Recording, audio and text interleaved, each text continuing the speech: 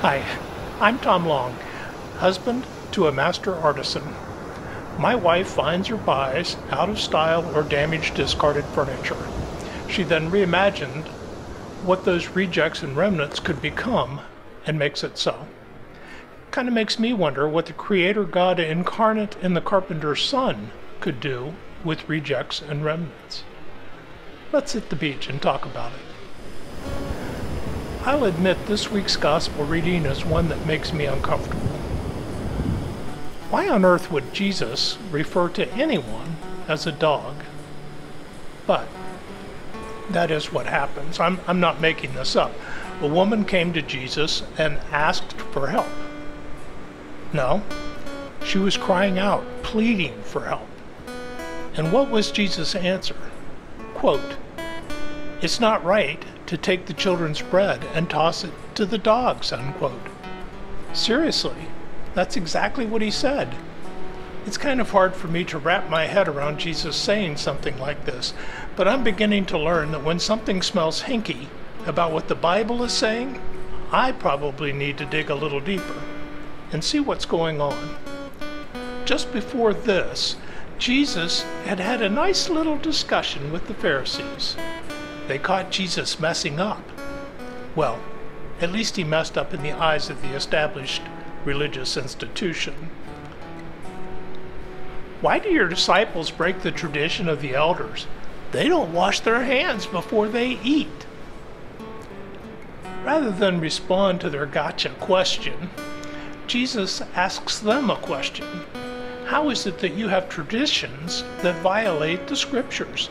In fact, one of the Ten Commandments, the one that tells us to honor our parents.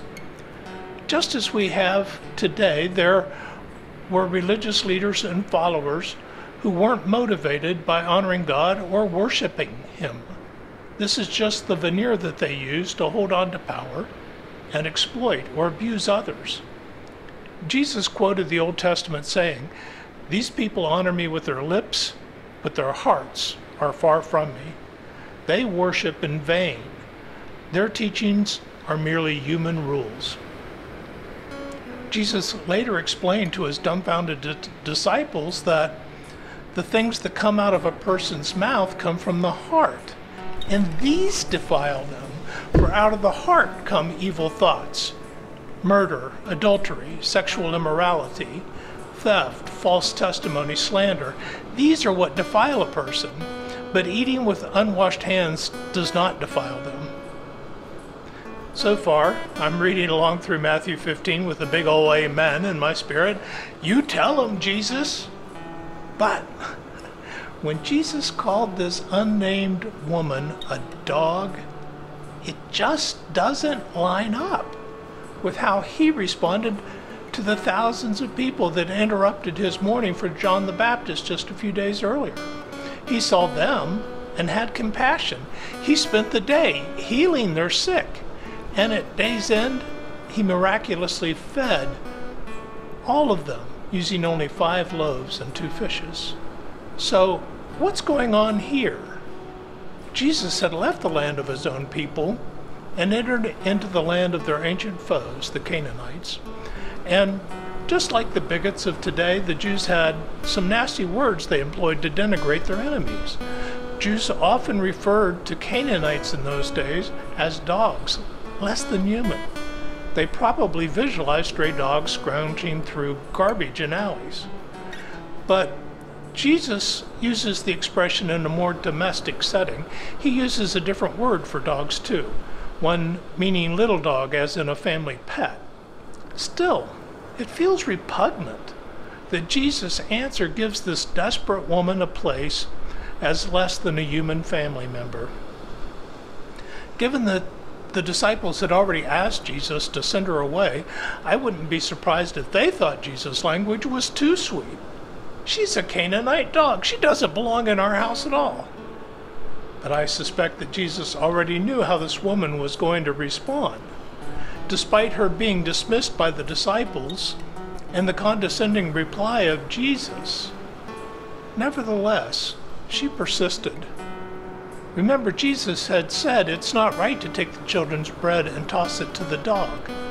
just like the Pharisees earlier, she dares to argue with Jesus. Yes, it is, Lord, she said.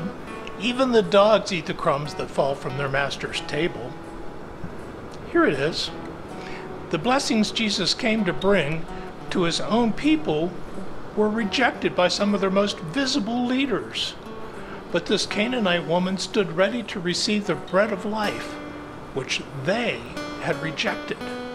Accordingly, Jesus' response to her challenge is 180 degrees from how he had responded to the Pharisees. I imagine Jesus waving his arm with a flourish toward the woman. Looky here, disciples. Then Jesus turns to her and says, Woman, you have great faith. Your request is granted.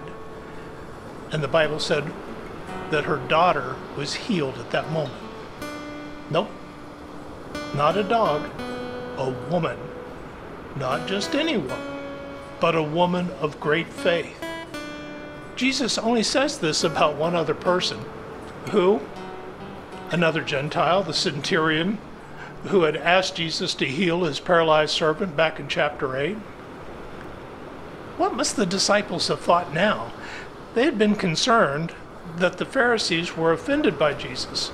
And on top of that, they had wanted to dismiss this woman because she was a Canaanite.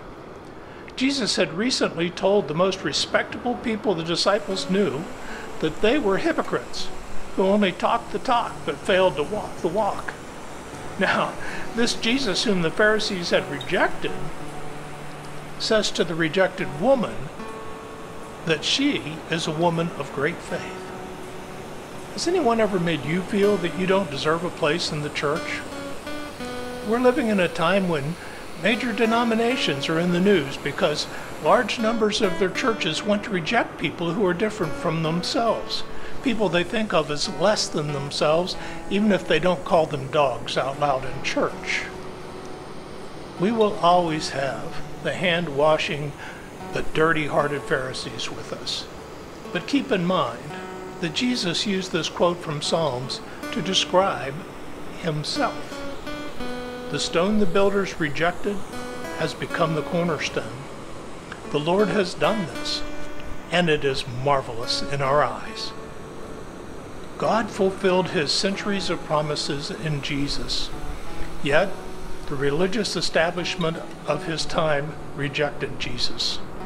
If the religious establishment turned its back on Jesus, I think we're in pretty good company, don't you?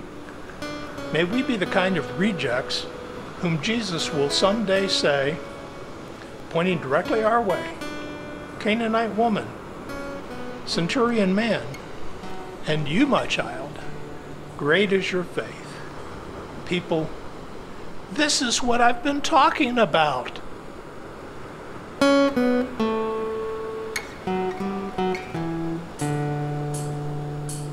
Jesus is the cornerstone, came for sinners to atone. Though rejected his own, he became the cornerstone. Jesus is the cornerstone.